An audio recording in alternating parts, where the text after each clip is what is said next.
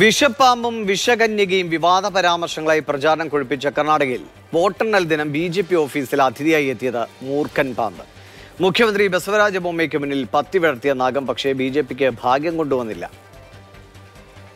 തെരഞ്ഞെടുപ്പിൽ പാമ്പിനെന്ത് കാര്യമെന്ന് ചോദിച്ചാൽ സാക്ഷാൽ പാമ്പാട്ടിക്ക് പോലും ഉത്തരമുണ്ടാകില്ല.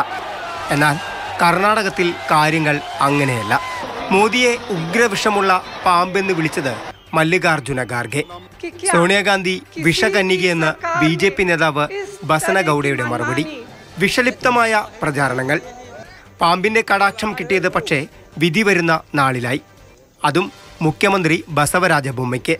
വോട്ടെണ്ണൽ ദിനം മുഖ്യമന്ത്രിയുടെ മണ്ഡലമായ ഷിഗാവിലെ ബി ജെ പി ക്യാമ്പ് ഓഫീസിൽ അപ്രതീക്ഷിത അതിഥിയായി സാക്ഷാൽ മൂർഖനെത്തി. തന്റെ വംശത്തെ പ്രചരണത്തിന് ഉപയോഗിച്ചത് മൂപ്പർക്ക് അത്ര പിടിച്ചിരിക്കില്ല. പുറത്തിറങ്ങുന്ന ബൊമ്മയ്ക്ക് മുമ്പിൽ പത്തി വിടർത്തി പാമ്പ്. നാഗനൃത്തം അധിക നേരം അനുവദിച്ചില്ല സുരക്ഷാ ഉദ്യോഗസ്ഥർ. നാഗദൈവം പിടിയിലായി.